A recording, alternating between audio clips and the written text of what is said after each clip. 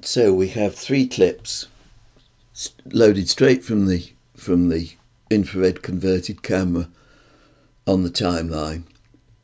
And the first thing I do is on the first clip is to balance colour. And that alters the white balance. And then in colour in effects I add the channel mixer to the timeline. Contrast A4D to the timeline and brightness A4D to the timeline. And then we can see in the channel mixer and this is the the key step in in converting the footage we bring red red to zero we then do the channel swap. We bring red blue to the right around one to start off with. We bring blue blue to zero and blue red to somewhere over one. And immediately you can see that the sky has turned blue and that you're getting the, the false colours appearing. And with this filter the the um, leaves of these evergreens here are showing as as white which is what you really want from uh, from this from this filter for infrared. And of course you can fiddle around with these with these numbers and get all sorts of weird and wonderful colors.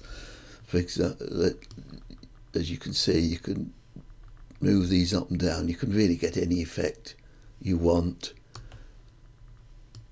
but I'm going to leave it around there you can even change green green a bit because as you can see you can get a different hue you can start bringing color into leaves leave it around one for our purposes here because really the, the, the sky's the limit as, as to the effects that you can get. So let's just adjust contrast a bit.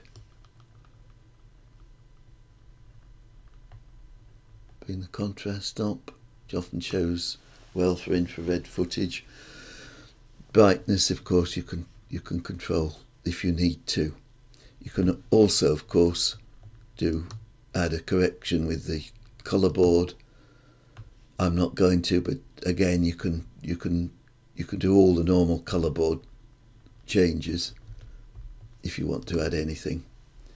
And then, of course, it's simply a matter of copying those effects to the other clips. Let's just let's just map balance color with these other clips first. and then copy this one I'll use the mouse because it's easier to show add copy you can either use paste effects or paste attributes here. Let's just do a paste attributes here show you that you've got choice on which ones you want to copy. So you're going to move select those and paste them in there. Now that one's changed color as you can see it's a slightly different um, color balance you're getting there and you may want to then shift this around a bit individually to get the effect that you want.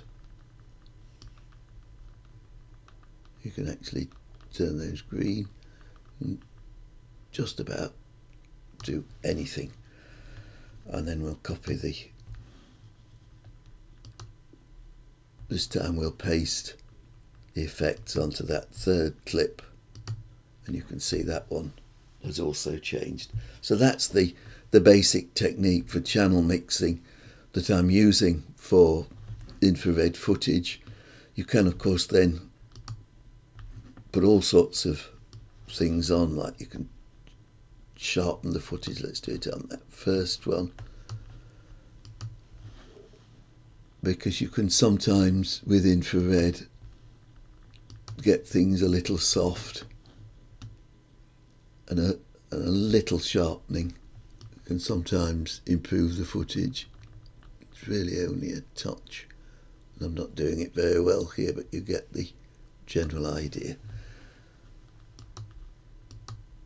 And that one has had some sharpening added, and you can you can do that obviously with all of these.